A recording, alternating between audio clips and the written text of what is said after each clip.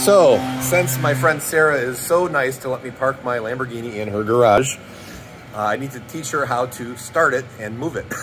so this is a 2017 Lamborghini Huracan, and here is the key, up wherever it is, it's in my pocket somewhere. Right here.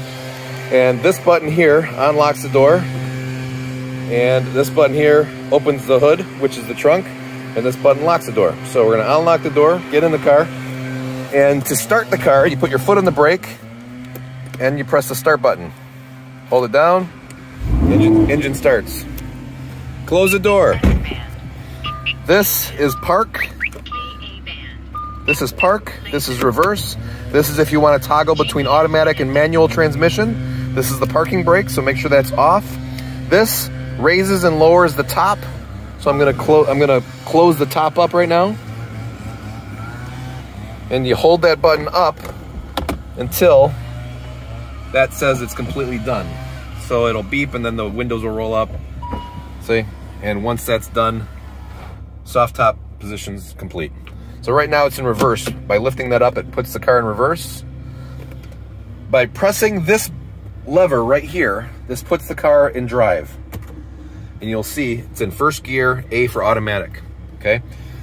Put it, pressing both of these buttons together, both sides, puts it in neutral. And again, this is park. So I'm gonna put it in first. So by depressing that lever, it says it's in first.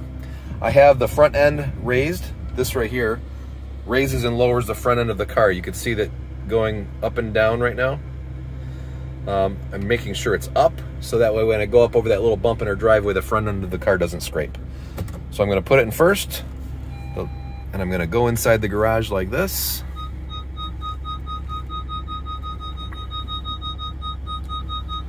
Very carefully. Whoop. Obviously not carefully enough. I almost took out my mirror. It's a very narrow garage. And once I'm in there enough, wow, this is very tight. Uh, then I'm gonna put it in park. And that puts the car in park. And then that button right there turns the car off. And that's it. So, there you have it, Sarah. Hopefully that helped.